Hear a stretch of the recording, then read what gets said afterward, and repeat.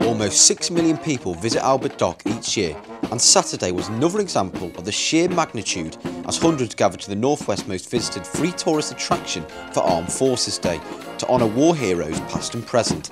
More than 100 personnel from the Royal Navy and the Army gathered, including Royal Marines, Royal Artillery gunners, engineers, infantrymen and chefs. A vast array of equipment and vehicles from all three services were on display throughout the day so that visitors could learn more about our servicemen and women and see firsthand some of the machinery used in action. It was really, really um, a very special day and it's because it's my first engagement on a, a parade I think I've, I've learnt a lot and what a fantastic day it was.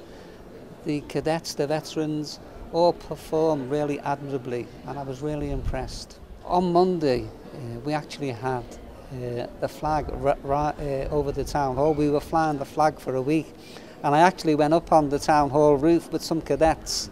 And I'm not really uh, like heights, but I mean, it was really something that I felt I had to do. And to fly the flag above the town hall, I think that's an example of the city paying our respects to all the armed forces, past and present, and the Merchant Navy, who've served this city and our country really so proudly. And as I say, you know, we're really grateful for all the uh, work that they've put in and all their service over the years. It's something that we as a city are really proud of.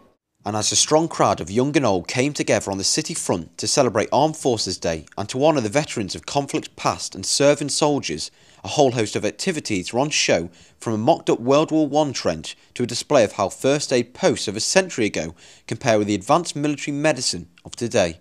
We try to put on a, a great show. We've got all the units from across the northwest, and we try to let all the children and adults uh, get involved in everything we've got to offer, whether that be bomb disposal, climbing in and out of trucks, and just letting them get touch and feel the army. So today when all the families can celebrate, you know, if they've got members of their family in the armed forces, they can see actually, you know, that it is a big family and it's great to see everybody coming together and enjoying the day in spectacular surroundings as well. Events to mark the day were also held at the Mill Street Barracks in St Helens, Town Hall Gardens in Southport and the Gateway in Warrington.